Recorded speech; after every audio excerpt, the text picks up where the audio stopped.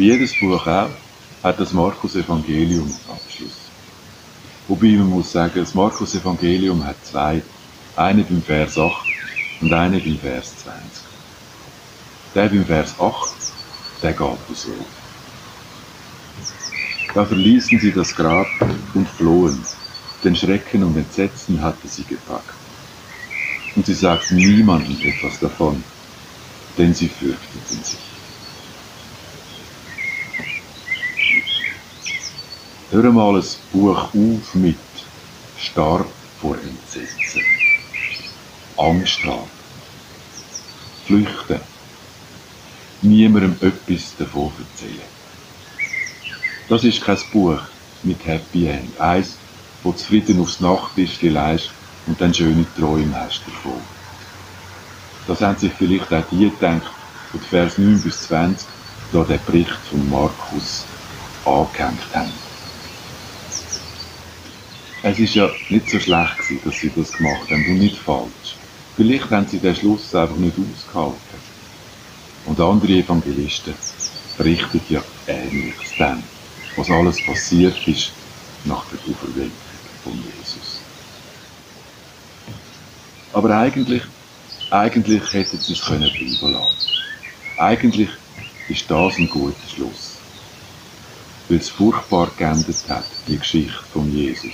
Weil Folter und Tod zu seinem, weil Folter und Hohn zu seinem Tod geführt haben. Weil alle Hoffnung auf Besserung oder Lebensumstände mit dem Mann ans Kreuz genagelt worden sind.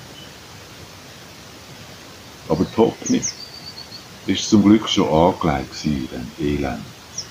Aus dem Elend und aus der Leere heraus entsteht etwas Neues. Und das Neue, das hat einen Sinn. Wie die drei Frauen, sie sollen das den Jüngern berichten, die Verweckung von dem Jesus. Und der Jesus geht ihnen voraus nach Galiläa. Und dort, dort sollen sie auch hin. In die Dunkelheit kommt das Licht. Tag löst Nacht ab. Das ist die Symbolik vom Ostermorgen. Und die Botschaft heisst, der Tod und unsere Trennung von Gott ist überwunden. Zum Glück. Schöne Ostern. Und jetzt zurück ins Studio.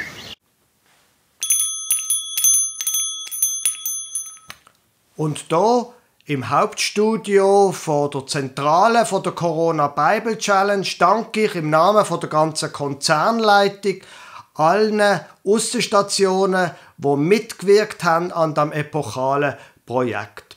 Das ist das Ende vom Markus Evangelium, nicht aber das Ende der Welt. Am nächsten Dienstag nämlich geht es weiter. Dann mit einem neuen Buch, nämlich mit dem Buch Kohelet aus dem Alten Testament, das heißt auch Prediger Salomo.